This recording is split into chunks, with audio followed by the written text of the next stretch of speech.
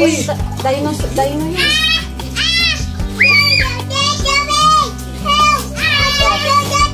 Ayun, sino yung rider man? May pampatrol. Sino yung mga kagaya kong kapag nag-open ng bill, kinakabahan, kinakabahan kung ano ba ang laman, kung maganda ba, marami bang tapon, at ito na nga, kinikilig ako sa laman.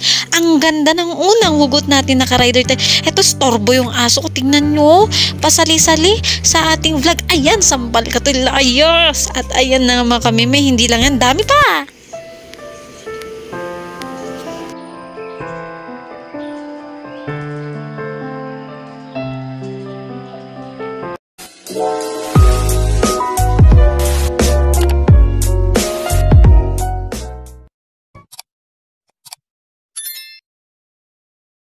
Good morning mga kameme! Today's video, mag-open ulit tayo ng panibagong vein.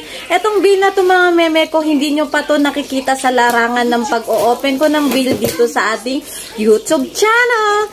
Ito ay fur blanket na brand new. Ang gaganda ng laman nito. Kaya saksihan nyo mga kameme ko hanggang dulo para makita nyo kung satisfying ba ang bill na to. I-chika nyo ako sa ating Facebook account. I-chika nyo rin ako sa ating selling account. Ayan, dyan tayo magchikahan kung magkano nga ito, kung gusto nyo umorder, kung may available. Pero mga meme ko, once in the blue moon na to magkaroon sa ating bodega. Kaya kapag meron, grab, grab na tayo. Gustong gusto rin to ng mga kameme natin. Lagi din tayo sold out dito. Saksihan nyo kung ano nga bang mga laman po neto. Okay! Oh, sa mahilig dyan mang trip, mine ng mine, tapos joy-joy lang pala, tapos bogus lang pala. Tignan nyo naman kung gaano kahirap magbukas ng bill, oh. Nagpapatulong pa ako sa kapatid ko at ayan na nga, pinagpawisan niya ng bonggang-bongga kasi sobrang higpit. Alambre po ang ginamit dito kasi super duper sikip ng laman, super duper kailangan ng mag-hold sa bill. Kaya ito ang nagamit dito sa bill na to is alambre. Sobrang hirap tanggalin. Hindi ko kaya kaya kailangan natin magpatulong sa kapatid natin o kung sino mang may kaya mag-open ng bill na ganito. O diba? Sobrang laki.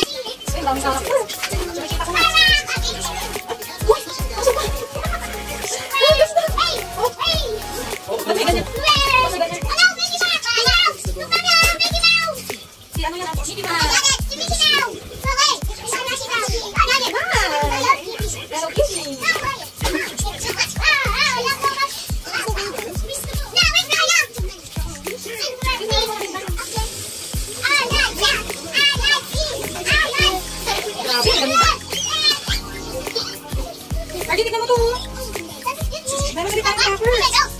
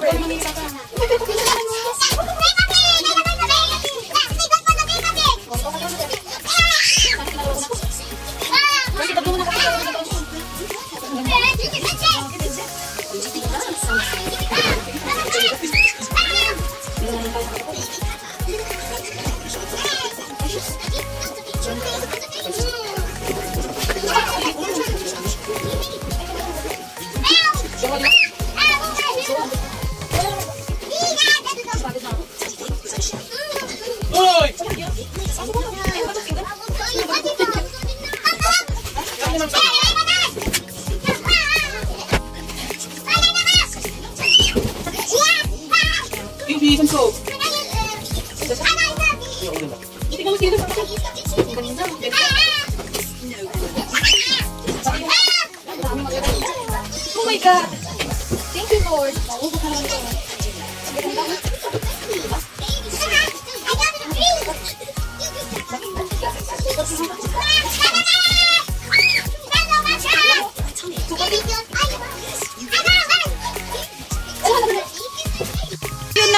kameme ko, hiningal ako kasi sobrang bigat talaga.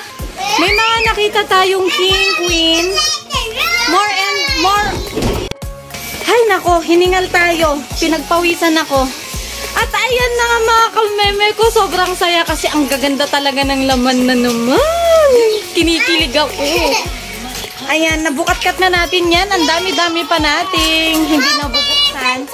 For the meantime, samahan nyo naman ako magbilang kung ilang piraso ba to, kung pasok ba sa budget ng mga ating mga buyers. Para alam natin kung magkano puhunan per piso, di ba? Hello mga kameme, tayo na nga. Samahan nyo ako magbilang kung ilang peraso ba ito. Grabe, nakakapagod. Ang bigat. Hindi kaya ng payatot kong katawan. Pero kinakaya natin, di ba, para makaubos tayo agad-aya, agad-agad. Nag-live selling tayo sa ating page account at saka sa ating reel account. Ayan. Nakabawas na tayo.